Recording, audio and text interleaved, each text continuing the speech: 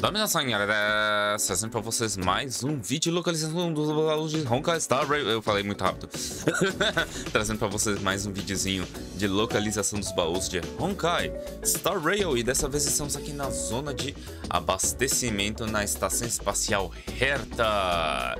Já deixa o like, compartilha um vídeo. Me siga na plataforma roxa ou Pompom não vai te dar o Jinwan. Mas se você não viu meus vídeos de Honkai Pocket Third, você vai perder os 50-50 para Bailu ou pro J-Part. Sem mais, sabe, digo delongas. Bora pro vídeo. Primeiro de tudo, ignorem a área de cima, não tem nenhum baú aqui. Caso vocês queiram vir aqui para uma sidequest escondida, podem vir nesse pontinho aqui no meio que é possível habilitar uma sidequest escondida que demora um tempinho para dar continuidade. Por hora, nós vamos vir para esse controlador ao lado da âncora. E nós vamos vir aqui para baixo, onde nós vamos encontrar essa criança, Edler, e esse painel. Ficando no painel e olhando um pouquinho para a direita, a gente encontra o nosso primeiro baú da área. Lembrando também que esse Edler e este console tem quests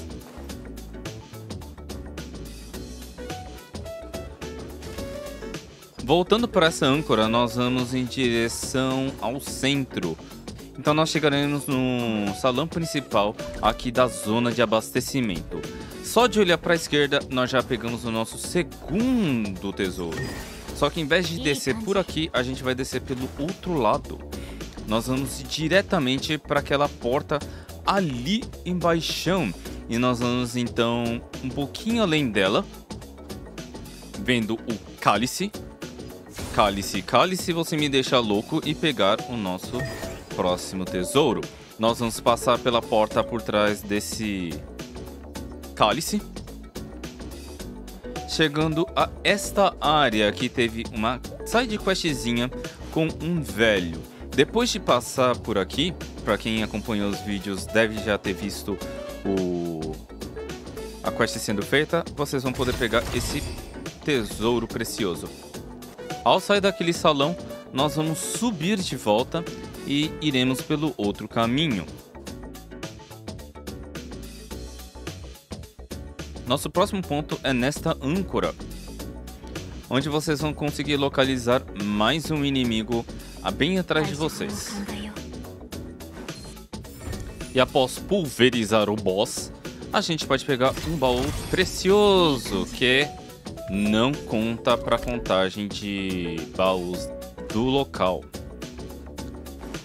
No entanto, assim como outro baú que a gente pegou anteriormente, o baú que está aqui ao lado, bem pertinho daquele boss, nesse corredorzinho pequeno, este sim conta.